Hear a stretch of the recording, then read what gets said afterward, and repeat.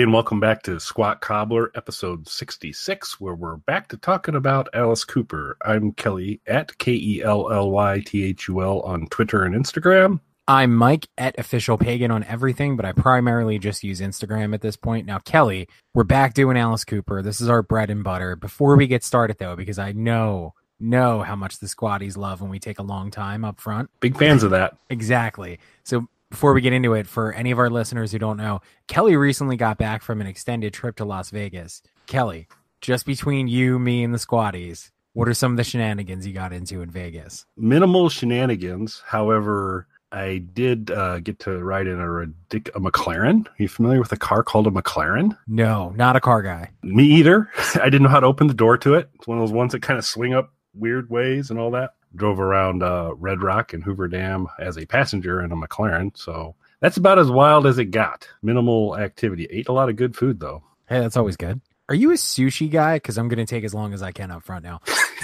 I I am a sushi guy, so it feels weird to say, but are you a sushi guy, Mike? I am. Love sushi. Love sushi. Um, so I used to be a banker. For anyone who doesn't know, people are going to be so mad. We're going to be going over Mike's job career, his history. This is basically just a podcast resume right now that I'm putting out there. Uh, so I used to be a banker, and my office. I didn't work at a branch. I was back office. I was a fraud investigator, and my office was in Philadelphia, in China, right next to Chinatown. So I used to be able to get. I never had sushi before, and as soon as I tried sushi, I immediately fell in love with it. And I also learned the hard way the difference between like properly prepared fresh sushi and like mall sushi. I learned that really quickly too because you know getting great awesome fresh sushi from chinatown versus getting it prepackaged from like you know the 7-eleven in the mall not exactly the same thing but huge sushi fan in general So Mall Sushi is a great band name. Absolutely a great band name. oh yeah that is Speaking of sushi, which is made of fish, which are in the ocean, which France is by, where Paris is in, we're here to talk about Alice Cooper's new live album. Alice Cooper Paranormal Evening at the Olympia, Paris. so i i have stuff about paris but before we get into that we should probably talk about the album cover right Indeed, or do we you just shall. want to talk about paris in general Uh, no, let's let's slide into the album a little bit for, for a while. Let's see how that works all right you're the sherpa so for the first step because this is a lengthy album, 18 tracks in total. So Mike and I are going to split Sherpa duties, and I'll take us through the first nine, and then Michael will bring us home on the last uh, last nine. yeah it's a Uh, double album is this alice's first live double album I'm going to say yes. because I'm thinking back, we did do a live album show where we discussed all of the albums, mostly Fistful of Alice, uh, but we we touched on all of them. I I believe this is the first one that's a double album, though. I believe you're correct, and of course, the specter of Fistful of Alice will hang over this because it is the gold standard for both Mike and I in terms of live Alice Cooper.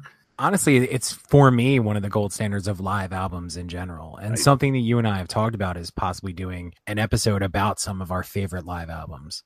which we should we should absolutely do. The good news is, is before before we do that, which we need to get lined up, we and we appreciate it. Got one of the squatties, Mick, has asked that Mike and I review Battle Axe by the uh, original Alice Cooper group, who reformed as Billion Dollar Babies, Sans Alice. That'll be fun. So we'll, we'll get that rotated in there. We definitely got to do the live album one as well. But much like we will likely compare and contrast Well, before we get into that, though, I have a question for Mick. What would you like me to talk about to kill a ton of time in the beginning of that episode? yeah, Mick, if you want to kind of throw a comment in there and let us know what totally unrelated information you'd like Mike to dwell on, I'm I'm sure he'll be able to come up with something without help, but maybe you can steer him a little bit. The album cover's not as good. It's a good album cover. I like it. It's Alice kind of prepping before the evening, uh, getting ready, getting the eye makeup on. Fistful of Alice, better cover. so this is a nice cover. I like it. I didn't mind the image itself. Like it's it's a well done, it's a well shot image. Uh, the black and white Alice getting ready in the mirror. My problem is what I like about Alice, what I love about Alice is that I feel like he's always raised the bar or set new standards for what he does. When I don't like things sometimes that Alice does is whenever I feel like he's following, which is very rare. But this is an image that we've seen a million times. That over the shoulder shot of the reflection in the mirror of the artist getting ready. Dozens of album covers, singles, promo shots from a wide array of artists. In fact, right around the same time this was released, there was a Prince album released called, uh, I believe it's called piano and a microphone. And it's an album of uh, unreleased songs from the 80s that his estate recently released. It is identical image on the cover. It's it's so overused, and I got to get a Prince reference in right away. There you go. It's it's such an overused image, and that's my problem with it. It's not that it's it's poorly done here. The presentation of it's fine. I've just seen this a million times before. I actually like groaned when I saw it. There is a different image on the vinyl though. Yeah, and I think the it's and I think it's the kind of secondary image on, as a double album goes. It's the secondary image on a more of an LP fold out. The the other one's probably a little bit better. Fistful of Alice was better. so, Fistful of Alice was definitely better. So unfortunately, this is to me one of the weaker Alice Cooper album covers. it goes up against quite a few really really strong efforts. This one's very serviceable. Nothing wrong with it. It's certainly not a raise your fist and yell issue, but uh, Right. Yeah, I don't I don't actively dislike it.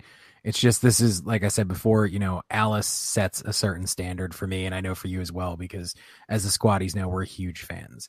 And this is just something that doesn't live up to the great album covers we've gotten from Alice in the past.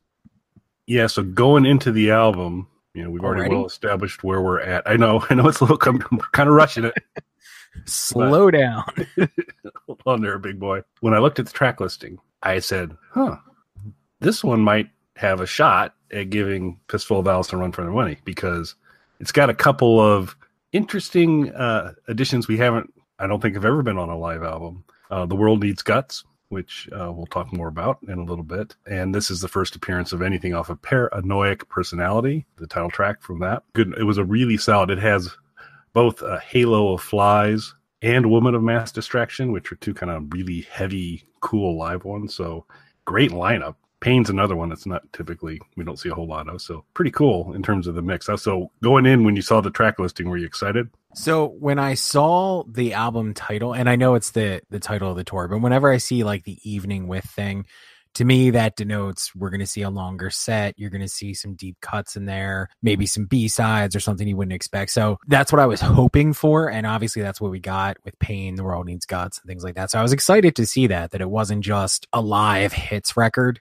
That we're getting something a little bit different. One thing that did throw me on the track list, though, I mean, paranormal's in the name. We're not getting a lot of paranormal on this though. I would have hoped for at least two tracks off of it because we were as when we did the review, we talked about how good these would sound live. I was really hoping, especially with a double album, that we would have gotten more of the paranormal album live because not only, as you said, did we talk about how great these tracks would perform live, I would love to hear them with Alice's live band. Not that the studio recordings weren't great and the guest musicians were excellent. I really wanted to hear some of those tracks with this band though. So it kicks off with Brutal Planet and the intro. I know you keep going back to talk about the album. Funny about that. And so it's a riff off of you get uh, the way Brutal Planet, Brutally Live, uh, opened up. The controller came out and welcomed people to Brutal Planet. And this is kind of a riff off of that. You get that same kind of, you know, welcome brave strangers kind of thing going on, foreboding that you're now going to be trapped, uh, dealing with Alice Cooper, crowds getting whipped into a frenzy, as much as people in Paris get whipped into a frenzy. Kelly hates the French. And and it roars right into brutal. No denial. you don't repeat negative language, Mike. I'm trying to try to not repeat negative language. I love the French though. I just want to say that. So it balances out. Kelly hates you guys. I love you guys. Listen to as much Alice Cooper and as much of my music as you possibly can. Actually, I war I warmed to the French uh, as this album went on, and we'll, we'll we'll talk about the moment that they they won my heart.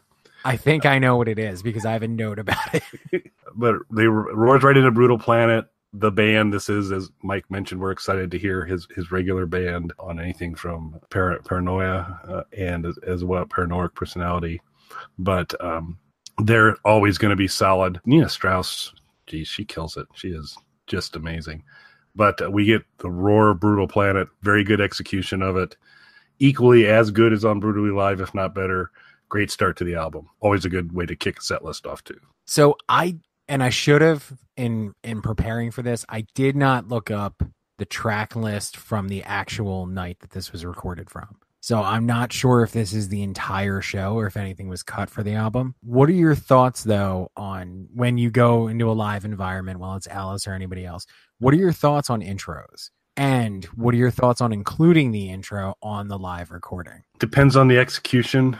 I think the intros for Alice Cooper shows are often a highlight, one of the highlights of the show, and uh, really kind of sets things off, ready to go. So when it's an Alice one, I always welcome it. Some other ones, maybe not so much, but even on like Waiting for Columbus uh, by Little Feat, you get the little kind of intro piece of there, and it's kind of fun. So I think it's kind of a nice way to ease into the to the live album. So I don't mind it.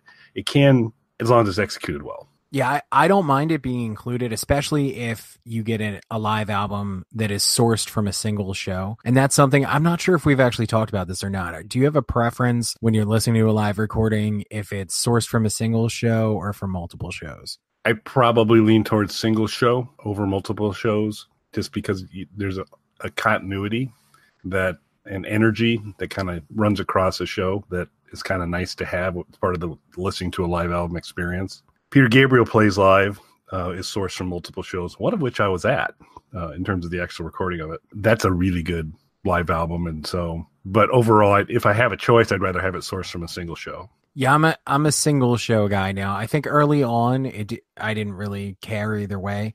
I just looked at it as well. These are the best performances from the tour.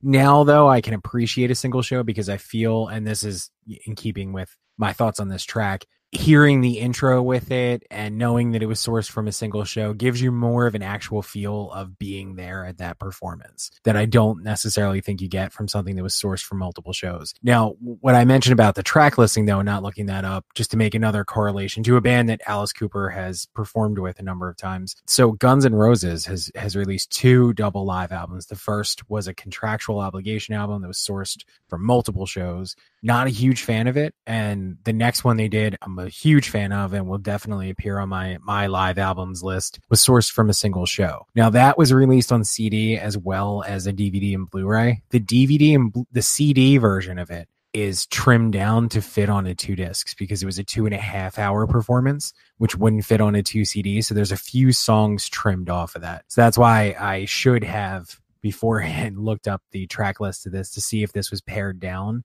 in any way to fit onto the double album. It's a 90 minute set, so it's not like, you know, you're not getting a ton of material here, but I am just curious um, if anything was maybe cut from this either for time or it just wasn't a stronger performance and how how would you feel if that is the case?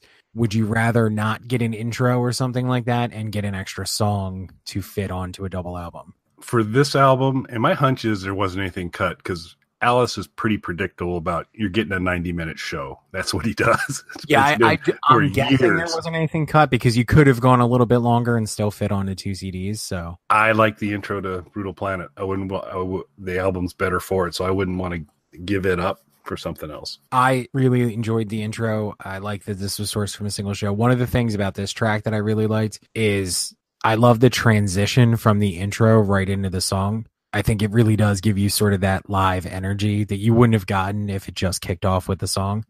Yeah, and it really gives you a flavor of uh, the seeing Alice live experience because it's just it it's you, you feel the energy, you feel it just kind of flip right into it, and they they don't mess around, they get right to it. And the backing vocals on this track I thought were great. Yeah, I think so. It's not that Alice's performance is bad on this album, but this comes back to once again Fistful of Alice. I think the recording quality of Fistful of Alice, and I think Alice was in just slightly stronger voice for Fistful of Alice and and live at Montreux as well than this album. It's not like it's his voice is blown out, but I've seen him a number of times, and there are a couple times if you catch him a little bit later in the tour, you know, Alice is not a crooner; it's going to be kind of a snarl, but you can kind of feel like ah, this throat's been a little little raw. It's been going through, so you, you get you get just a hint of that, not much. The backing vocals are super solid. Alice is still awesome. Uh, he's just been, in in my opinion, even better on a couple of the other live albums. Yeah, I know what you're talking about. And it's not, as Kelly said, just to reinforce it, it's not that he doesn't sound great on the album, but I believe he mentions in, I didn't, again, should have done a little bit more research on that, but I believe he mentions in one of the little things to the audience that this was the final show of that tour. Which, which I think you just hear a hint of in the delivery. Yeah, you can hear that there's a little bit of wear and tear, that this is the end of a tour kind of show. On the reverse side of that, the band is probably that much better. Yep. Super, super solid. We roll then into No More Mr. Nice Guy, which is, I guess, becoming the Wow, generation land and the generation landslide of of next generation Alice that we're gonna we're gonna get No More Mr. Nice Guy on every live album from here on out, which is fine. Very good execution of it. It's a fun song, well executed. I don't have a lot to say about this. It was it, it was solid. You got what you expect with No More Mr. Nice Guy. You get a little bit of the crowd singing along too, which was cool, and it was kind of mic'd okay for that. Uh, so I enjoyed it. I'm going to take my time with this because I feel like Kelly's trying to rush us through this thing for no good reason. 18 songs, Mike. I agree with everything Kelly said. I, I don't think there's it's a solid performance. I don't think there's a lot to add about it. My only quibble, I guess, and this is again goes back to maybe I should have looked up the track listing. It could have been this way in the performance, but I almost feel like this shouldn't have been the second song. it doesn't feel like the right song to come after Brutal Planet. No. And particularly in between Brutal Planet and Under My Wheels, it just doesn't feel quite sequenced right. There's nothing wrong with the performance. There's nothing wrong with the recording of it. Sequencing wise, it just felt a little bit off to me. Yeah, you you put in uh, World Needs Guts or Woman of Mass Destruction uh, after Brutal Planet. That'd been a probably a better flow because you then there's nothing wrong with No More Mr. Nice Guy, but Brutal Planet tears it up, and then you get into a long time classic, Under My Wheels. Always a tremendous song live. Some great guitar on this from the crew, as good as about any of his performances of Under My Wheels. Really enjoyed, really enjoyed it. Yeah, great performance. I I feel like this should have been the second song, or maybe something else moved to the second song. Again, minor quibble. Wasn't Under My Wheels something that was mentioned by our favorite commenter? Yeah, I think it was it was uh yes. I can't um even if I could recall all the verbiage, I probably wouldn't be super excited to share. But yes, he did he did quote at least some of the verbs in under my wheels in a lyric in one of his his quotes. Eh, because I think two of his comments had a, a callback to under my wheels. Oh well, now I need to go back. I can only remember the one. All right, let's in real time go and check. So I'm gonna let Mike research. I'm fairly my memory could be wrong here, but I, th- I think there was actually I think there are actually two references. Something about the telephone and then another one. But I The I put telephone is the one that I remember. Yeah I remember the We- telephone We won't do that now since Kelly's in such a rush to get through this thing.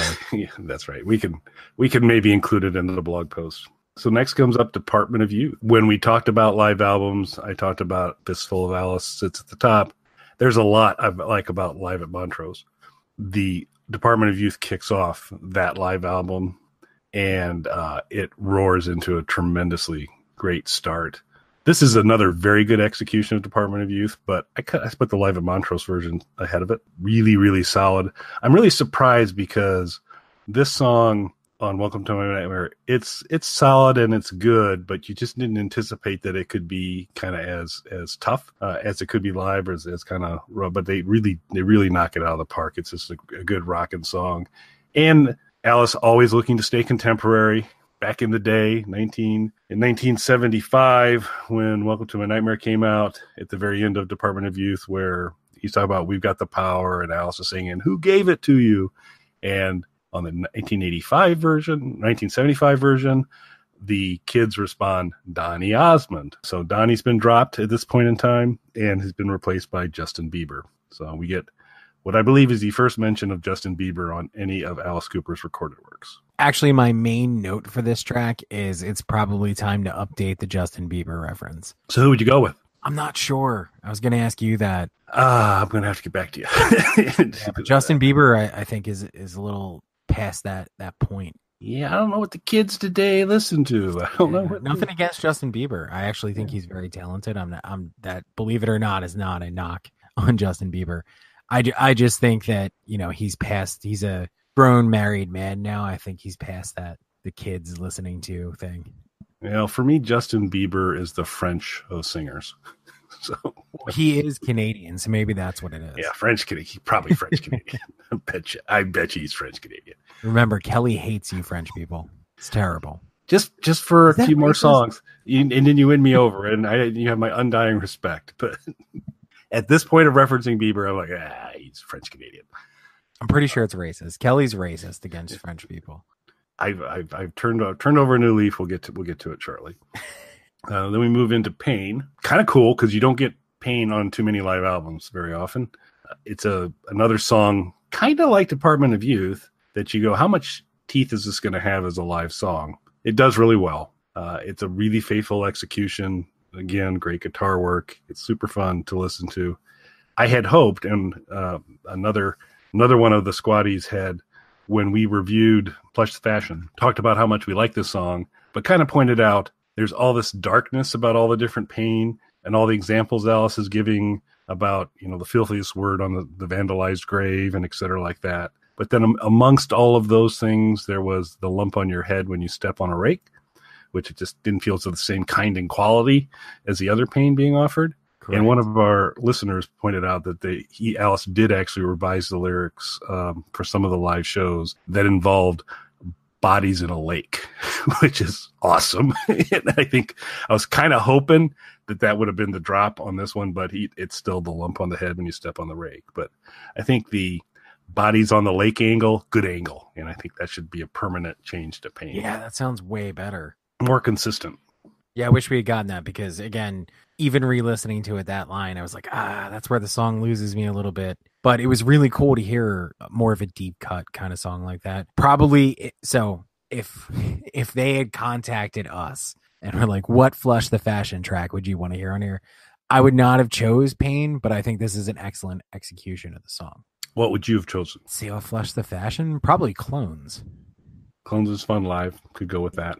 Could go with that. That's and it's just one of my favorite Alice songs. That's the one that when I think Flush the Fashion, that's the song that immediately pops into my head. That'd be good.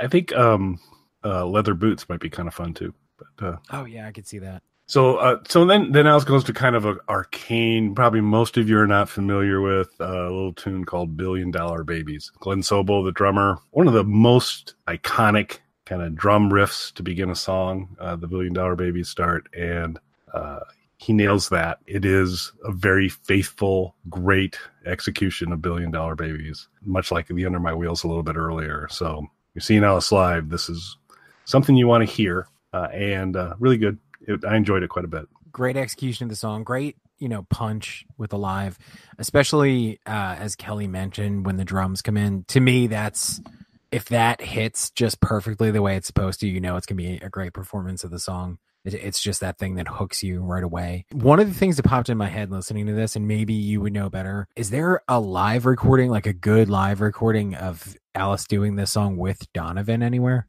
I do not believe, and the legions of squatties out there will correct us if we're wrong. I do not believe Donovan ever took the stage with Alice to perform this. I think this was this was all a thing of them both being in Connecticut at the same point in time. He was able to pull him into the recording studio to to join, but I, I do not believe Donovan has ever joined him on stage. It'll That's unfortunate. Cool. This is this is a great performance, but as I was listening to it, I was like, I wonder if there's a recording of him doing it with Donovan live. It would be cool for him to bring on guest singers to join him in the future. That'd be kind of cool. Because I don't know, is Donovan dead or not? I believe he is. Yeah, so Donovan prob- is probably listening to this. yeah, he's. I'm not dead. you sons of bitches. So. But in you know whatever accent he has. Yeah, I I, I think he's French. So um, uh, so then we move into so spoiler gang. I really enjoyed this album. I think this is a really good live Alice Cooper album, and I highly recommend you getting it. But it is having to stack up against some amazing uh, work on other live albums by Alice, uh, particularly Fistful of Alice. And while the set list, I was like, this is a contender. There weren't too many songs so far where I was like, well, this is the best version of that I've heard on anything recorded live by Alice. Until we get to this song. Now, this one doesn't have anywhere else, but they really elevate The World Needs Guts. I've always really liked The World Needs Guts. I think it's a really fun song. Uh, it takes a whole nother dimension live. And to me, this is the jeweled prostate of the album is the world need guts uh, it is just um, just amazing. Uh, I really, I love the song. I love them amping it up live, and Alice just sings the heck out of it. And it, this is a powerful song. I really, really enjoyed this song. Yeah, I really enjoyed this as well. It's a, I've always thought it was a fun song, so it was cool to hear it live. There's definitely more punch to it live. This song, did you ever notice that sometimes with older songs, phrasing of certain things doesn't necessarily age well? Yeah, there's a little bit of that in this song. Okay, I was wondering if you were going to catch on to what I was talking about. Yeah, yeah, I think I. So we have talked in the past about how gifted Alice is as a lyricist and how clever he can be and to, to do some kind of really amazing things. That's not really on a lot of display on the world he's got. it's a, No, yeah. uh, but it's forgivable because it's it's Alice going rah, you know, so it's, it's okay. But yeah, there's there there are some kind of almost cringeworthy lyrics in there, but they're delivered so awesomely I can get by it. And it's something where I'm sure at the time, it, th- this is a situation where ju- just the phrasing hasn't changed well with the times. That's all. I'm sure at the time when the song was new, that wasn't necessarily a concern. Yeah, but this is, I mean, and really of everything here, this is probably the one that you you pick up a little bit of that dating uh, a little bit because most of the Alice stuff just kind of is timeless. But there is a few Yeah. few little things on there, but it's just it's it's just such a joy to listen to.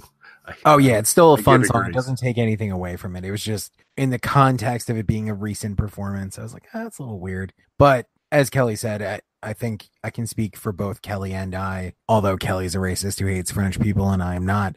I think I can speak for both of us when we say that Alice is clearly one of our favorite lyricists. So this is not a knock on him as a lyricist. He's he's a favorite of ours. We think he's incredibly clever. We love his music every so every once in a while when there is something like you know the rake thing in pain what makes that stuff stand out for me so much is just because all of his other lyrics have set such a high bar So the the benefit of the fact that we record these with Google Hangouts, I pull the audio down, I get it edited to add to the podcast and go out. I'll be replacing every every time Mike's called me a racist with thoughtful man. and so but you need to leave that explanation in or or not. or not. We'll see how it goes. just for the runtime Yeah, or we may have to pull, we may have to tap into Cobbler Wren, see if he's available to do, give us give us a do me a solid here. We'll see what we can do. i've i've used no bad language No. i didn't even use the dated part of world needs guts to make that joke yeah, but it's uh, I still may prevail upon him. We'll see. See how it goes. well in that case and then he, since you're gonna already be editing it, yeah, so I plan on it. I usually do. Uh, so we move into track number eight, "Woman of Mass Destruction." Uh, "Woman of Mass Distraction," which is actually on the set list I have in front of me, listed as "Woman of Mass Destruction." and we're looking at the same set list so that's the same thing i say Way to go, Google. Thanks a lot. Woman of Mass Distraction. Love the song on the studio album. It was on Live on Montreux. It was an amazing version on Live on Montreux. Really elevated the song significantly. So I was really excited to see if that was going to be repeated. Um, and I think this one likely it's more the the fault of the miking and the recording of it a little bit. Uh, it it just some of the punch of this live just doesn't hit the same level that it does on live on Montreux. It's still a really, I mean, it's a great song. This is a fantastic song live. It's, it's super enjoyable to listen to. But I think there's been a better version done live. Yeah, I agree with Kelly. There there's a better version of this song. Although again, great performance of it. And I think the live I always like this song, but the live version does certainly elevate it. Yeah, it really, it really does. So I will be handing over Sherpa duties uh, after this next song, uh, track nine, which is Poison. Fistful of Alice version was a lot better.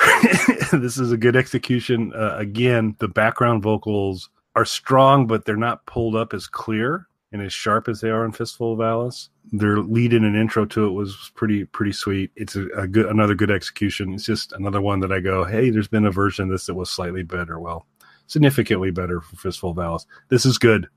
Absolutely, you've got um, everybody's doing a great job on it. But uh, I've I've heard other I've heard other live versions that were better. But it's hard to.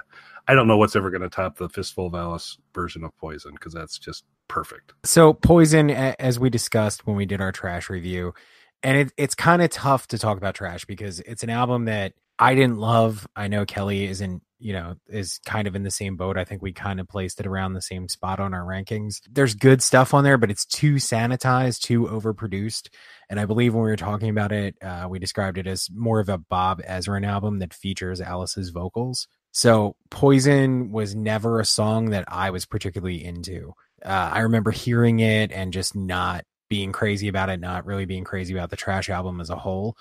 And then when I got Fistful of Alice, I had a completely new appreciation for that song. The version on Fistful of Alice is excellent. Without the over sanitized production, you really get the feel of the song, the punch of the song that you don't get on the studio version.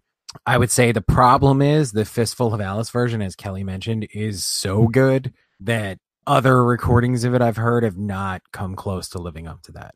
This is a great performance of it. It's just not going to top Fistful of Alice. And you said a, a Bob Ezrin album, but I don't think it was Bob Ezrin we were pointing to for for trash. What was that? Oh, I'm sorry, Desmond Child. Yeah, Desmond Child. My fault. I'm sorry, squatties. Just remember Kelly's a racist. That should be your takeaway. Not that I mixed up Bob Ezrin and Desmond Child. Things are going to change, folks. Things are going to change soon. Racist coming. Kelly Tool. it's coming. It's coming. Turns over a new leaf. So I just like to p- apologize in advance because I'm handing over Sherpa duties to Mike at this point in time. So this may end up being a four-hour show, and we're going to be talking about woodworking and a few other things. But with that, we'll uh, hand it over to Mike. You can take it from track ten to the end. Hey, everybody. Welcome to the Squat Cobbler review of Paranormal Evening with Alice Cooper. Before we get into the back half of this album, let's talk for a little bit. No, I'm not going to do that. We're going to keep things rolling. Halo Yeah, Flies. yeah, we've been because we've been rocketing through this. yeah. Kelly, I I can't promise you I'm going to deliver the same breakneck speed that Kelly's been going at, but I'll do my best. Halo of Flies is a favorite of mine. I know it's one of Kelly's favorites as well. I love this song. There's not a lot I can say about the song. It's extended on this, I believe. Am I correct in that? So Halo Flies is never short, you know, in terms of it's. well, I mean, compared to the uh, studio version. yeah, the uh, the kind of drum bass break um, towards the, the last third is elongated here. So, which is, as Kelly mentioned, you know, typical of the live performance, but worth noting for for any of the squatties who, who haven't heard a live recording of this or seen it performed live. Excellent performance of it. Not a whole lot more I could say about it. You, Kelly? So for those of you deeply familiar with the Alice Cooper reviews that Mike and I have done, Halo Flies is my favorite Alice Cooper song, and it's great live. It's fantastic live. This is a very this is a very good version of it. Um, I will like a couple of the other ones here, like Poison and a few others. I think there have been better live recordings of it than this one, mostly because in that drum bass section, a lot of times they kind of cut Chuck Garric loose, and he and Chuck can really own a stage and he'll get out there with the bass and he'll be going for a while and he's kind of basically pulling the crowd into some chants and some different kinds of things going on that really add a tremendous amount of punch uh, uh, to it. And this had it featured the the sinewy bass of that section and some great drum work by Glen again so it was all all really good there. It was a very very good execution of a song that I love. I have I have heard a live version I like better, and then I have personally seen my favorite version ever, which was right around Brutal Planet, just before Brutal Planet, where during the drum part, not only did you have the drummer doing the the stuff, but the two of the guitarists, which I think at that point were um, Eric Dover and Ryan Roxie, got up and set drums up on either side of the drum kit, and they all just beat the hell out of the drums during the section. It was amazing but still fun. Uh, great song and very well executed. Now, what are your thoughts? Because there's going to be a little bit more of this talk, I believe, coming up. But what are your thoughts in general on extended versions of songs live? It depends on what the extension is. So what we get on this one is we're going to get some extensions where they turn Nita Strauss on the guitar, and I can listen to her play guitar all night long. She's super awesome. I can listen to Glen Sobel play the drums, Chuck on bass. So when it doesn't become indulgent, uh, I like it.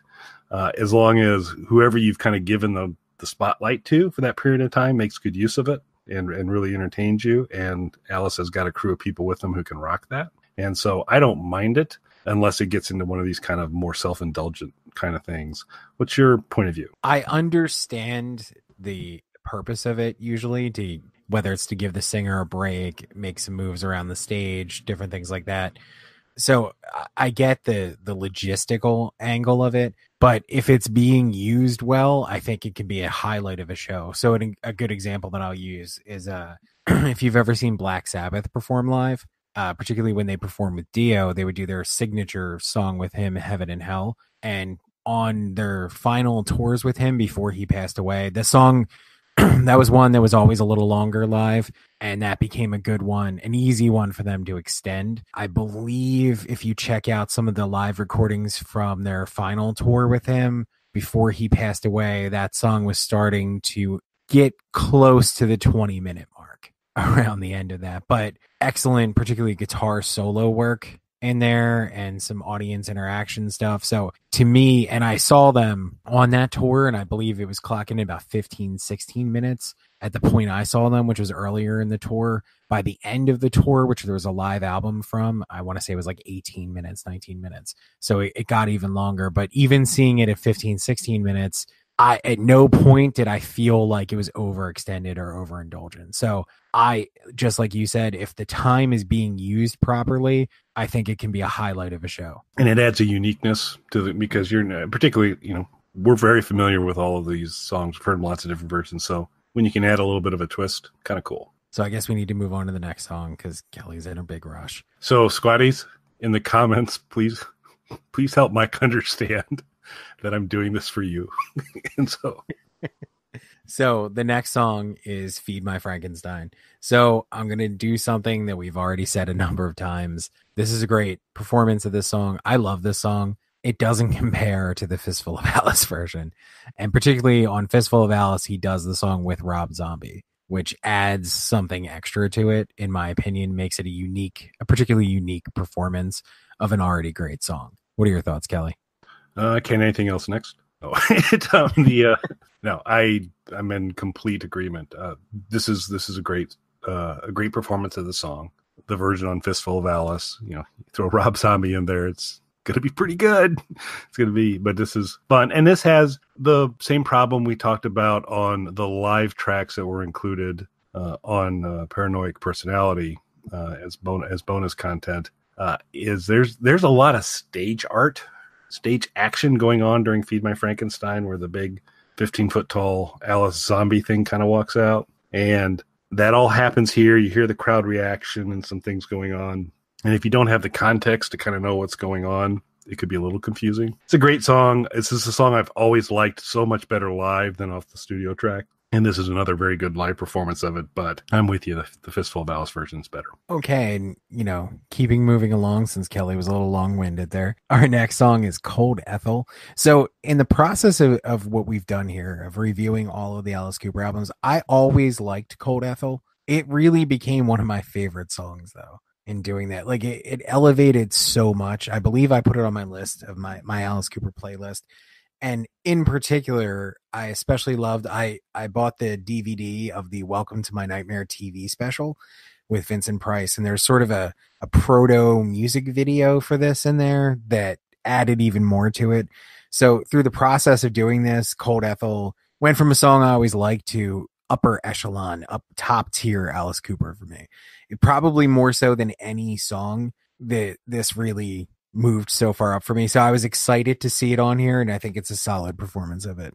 I loved Cold Ethel on Welcome to My Nightmare. I mean, just in terms of how it kind of fit into the whole ethos of Welcome to My Nightmare. I just thought it was a really cool song. Live, it typically gets better. This is another one along with The World Needs Guts, and I think this this is possibly the best live version of Cold Ethel uh, that I've I've heard. The cowbell is powerful and pronounced, and I don't know how many other cowbell songs Alice has, but it's heavy. It's heavy in Cold Ethel and well represented on this version of it. Uh, the guitar work on this is great. Really, a ton of punch to it. You know, because this is a pretty regular occurrence on, on Alice live performances.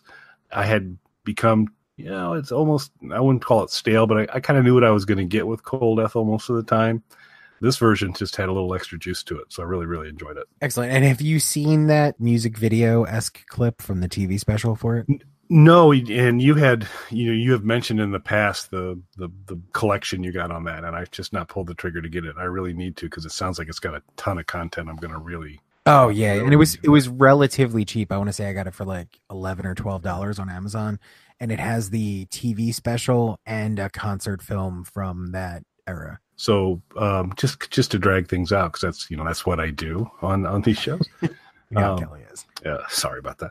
You, I think I have hinted at this a little bit in the past. One, I've seen Alice alive a lot.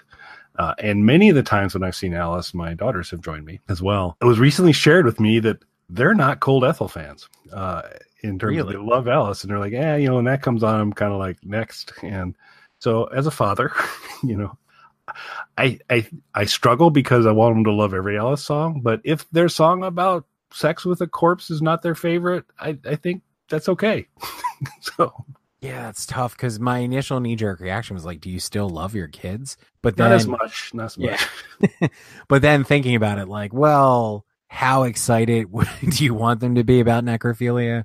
But then I come back around again because, as we've discussed before, two of my favorite song topics are necrophilia and having sex while on meth. I haven't actually done either of those in real life, so maybe that's why they they're favorite song topics of mine, just so I can vicariously live through the storyteller. Is your dream date uh necrophilia with a meth addict? is, is that where we gotta go?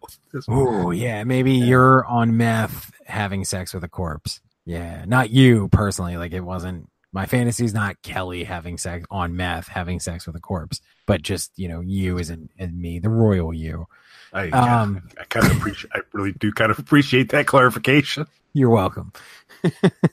um, but if anybody else wants to think about Kelly getting loaded up on meth and having sex with a corpse, you're free to do that. We can't stop you. in fact, Kelly would probably prefer that that's what you think about. What's the thirteenth song on this album, Mike? you just want to keep moving? yes, yes, I do. just blinding speed on this thing. All right. So that brings us to Only Women Bleed. I'm not going to say a lot about this because I have a suspicion Kelly's got something to say about this. Kelly? So actually, a fumble on my part. I think the whole part of Kelly and meth and stuff kind of threw me because because I believe the the moment actually occurs in terms of the way the tracks work. It's at the end of Cold Ethel. Uh, that this actually occurs uh, before Only Women Bleed begins, Oh, and okay. this is when, while I will not agree with Mike's depiction of of me Of earlier in the on meth having podcast, sex with a corpse or being a racist? Which one? the the if, if so if if I if I had allegedly an issue with French people, it went away at the end of Cold Ethel because so I'm a little confused because where this is happening in the set list, this isn't they haven't gone off to come on and play an encore because we we still have six more songs to go. Right. We But- do get this again. But there is but a chant begins to that strikes you as it's that encore chant. It's wanting and so the crowd is chanting Alice, which is what Alice Cooper crowds do when they want Alice to come back out. However, there's nothing more magical than hearing thousands of French people going, Alice, Alice, Alice. It is just amazing. Uh, it, it was just a wonderful, but to me, the actually the highlight of the album uh, is that chant to pull him back out. So I've been won over, and uh, so there'll be no other talk, Mike, of Kelly's position because the French are wonderful people. See that? You guys now have the ringing endorsement of a man who gets loaded up on meth and has sex with corpses. And also came up with a little rhyme about Jesus kissing his thighs. That wasn't my. Well, I guess I did. Yeah, yes, you did. you mentioned it. That is a fact. Yes, I did. Sorry, that'd be a good ringtone. It would. That is about to become my ringtone. So that moving forward brings us to Paranoiac Personality.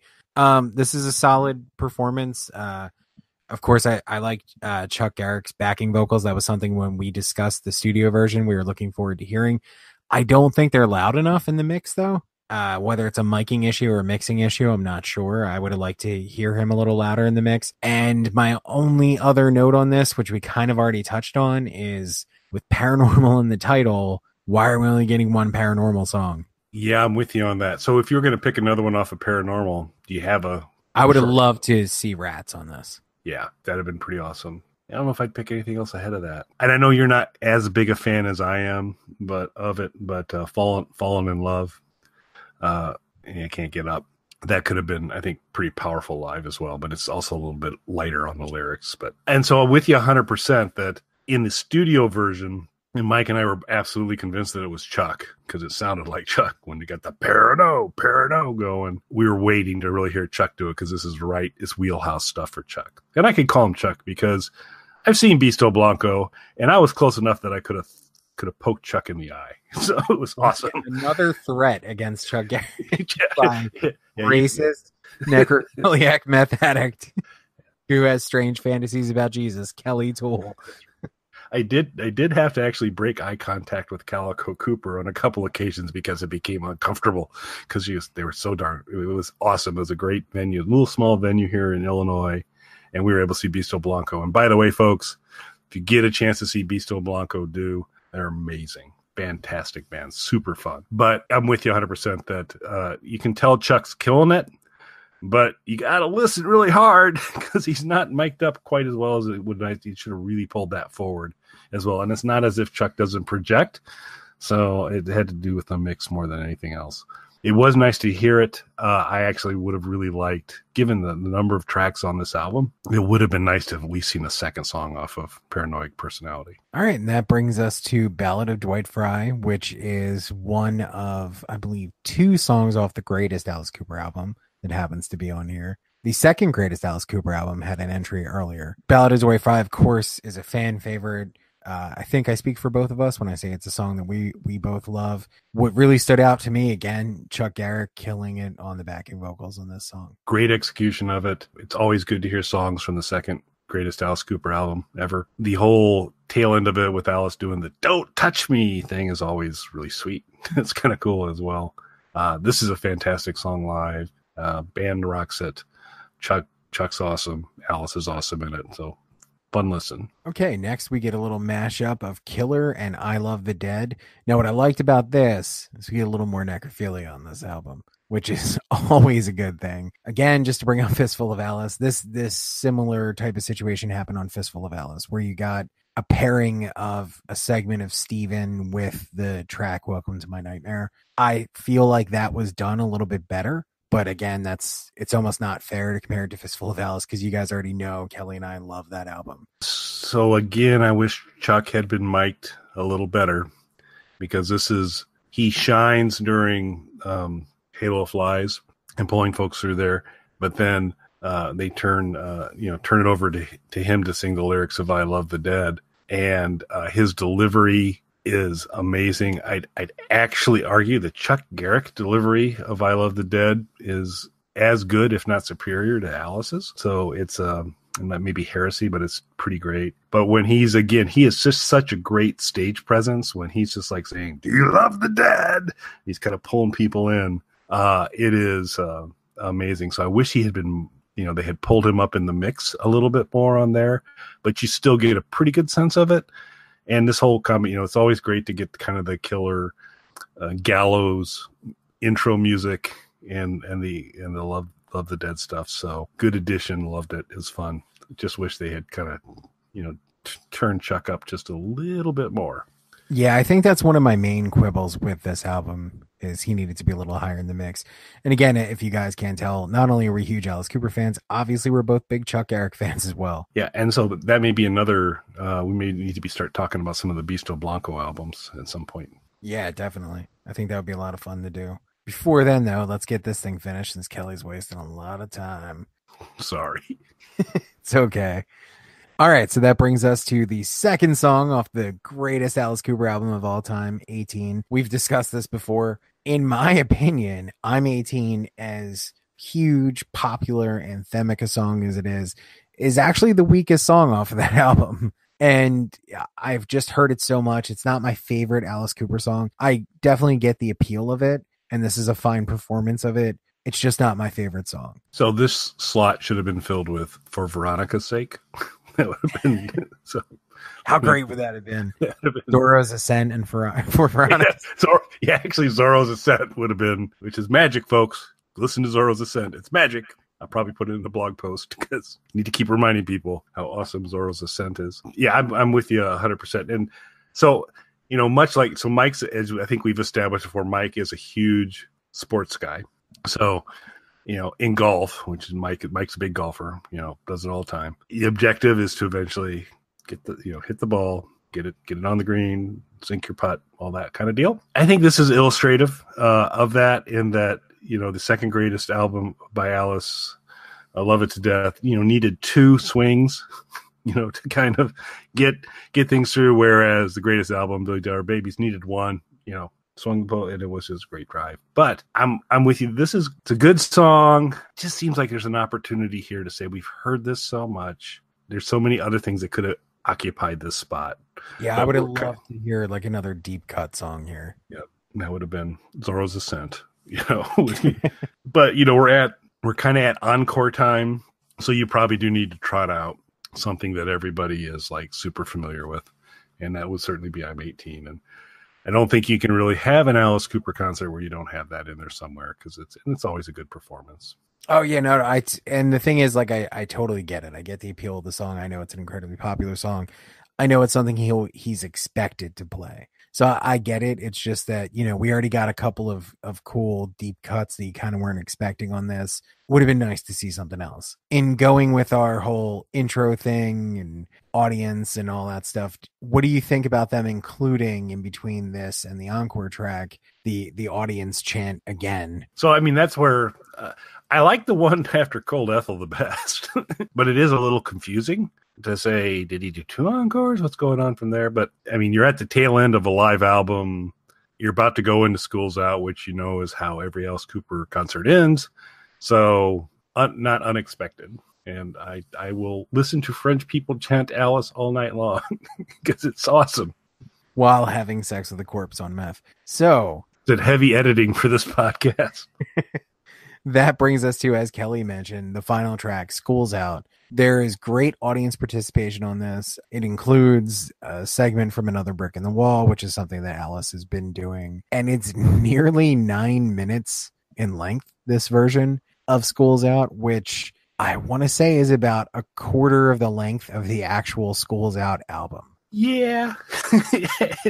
but, but, you know, you're getting the band intros. Uh, and that's always that's always fun. And we mentioned uh, this on some of our previous discussions that Tommy Henriksen, uh, there's a, a habit that they've developed that what whatever city they're in, whether it's Montreux, Cleveland, Bloomington, Illinois, Peoria, Illinois, wherever they're at, when Alice gets to Tommy, he introduces Tommy as a native son of whatever city he's in and he did that again tonight, you know, during this album, which is, and you're not going to believe this from Paris, France.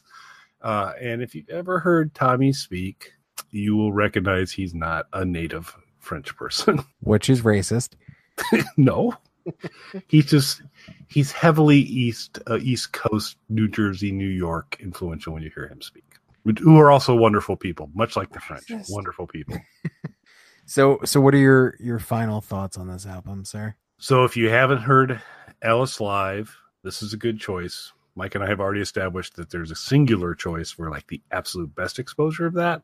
But this this is a really fun album. There's some kind of special, unique moments in it, some kind of deep cuts, as Mike has mentioned a couple times as well. Alice has been around a long time, and to roll out another live album, it's like, okay, so is it worth it? Is it, you know, another live album? Is it worth it? This one's worth it. It's it's a really good. I as I kind of look at them, Fistful of Alice remains the top one without a doubt. I I had a as a strong second live as Montreux. I'm gonna have to keep thinking about it. This one's at, you know it's very close. If it doesn't re- replace it, it's very very close, and it's mostly because the set list here is is really outstanding. A good diversity of things on that. So I think this is this is a worthwhile purchase if you haven't uh, had a chance to hear Alice live. Um, I do think if you haven't heard him live and you buy this, you're going to enjoy it. And then you'll go buy Fistful of Alice and you'll understand why Mike and I are so crazy about that album. Absolutely. Fistful of Alice, I would say, is still the gold standard, but this this is up there though. We haven't actually ranked the live albums, but if we were, this would be definitely in the top half for me yeah it's it's uh, it's top three um and i just i'd have to keep i'd have to go back and listen to live Montreux a couple more times to sort out uh this one kind of wins on volume because i mean it's it's bigger it's got a lot it's got a double album and so it's got a lot more and some pretty cool choices so it's good all right so we we have uh nailed down uh alice's new release the super exciting thing is my YouTube unmonetized YouTube channel. Thank you, Google. We're right on the cusp of over 100,000 views. We're about 2,000 views away from the YouTube channel having 100,000 views in total. Nice. The exciting thing is a lot of times our Alice stuff does super well. So hopefully this is the guy that pushes us over the edge on that, which would be really cool. You're going to hear more from Mike and I soon. We'll probably do, we've had a user request from Mick to do Billion Dollar Babies Battle Axe. We'll do that. And I do think to, to Mike's point, we've been, been making noises about having a, just a overall best live album show that may be coming up soon too. And for you nurture and support fans, wondering what the heck's going on with that. So Texas has banned the internet, and so so we're unable to communicate with Mel anymore. Actually, she's Mel is in kind of a interesting demilitarized zone between suburbs and industrial areas where her options for internet services have been limited and she's had a, a, kind of a number a number of issues there so she continues to work to try and get that addressed and as soon as she gets kind of a reliable signal again, uh, we'll start rolling in nurture and supports. But unfortunately for you fans who are maybe maybe if you're a bigger nurture and support fan than Squat Cobbler, have some bad news for you because probably for at least a little while longer it's going to be Mike and I. Uh, but uh, we're working hard to get Mel back in the mix. Well, do you want then for the supporters? Do you want to do a recommendation episode? No, no, I do not. because because your recommendations scare me, and so I'd rather stay with music. But yeah, we could we could do a we can do a recommendation one, and uh, uh, we can we can, we'll uh, offline. Mike and I will sort that out, but definitely from a music standpoint, you're going to get uh, Battle Axe, you're going to get some live albums, but we may come back with a recommendation show uh, here sometime soon as well. Let us know in the comments what you want us to do. We should drag this one out a little bit. I think it was too short. I disagree. from there, because I got to turn around and edit this bad boy. So we'll see what it's done. So on that note, I'm going to try and uh, stop dragging this out and say thanks for listening, everybody. Thanks, everybody. All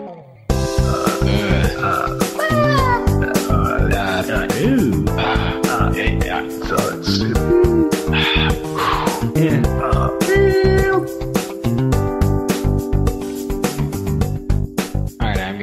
broadcast.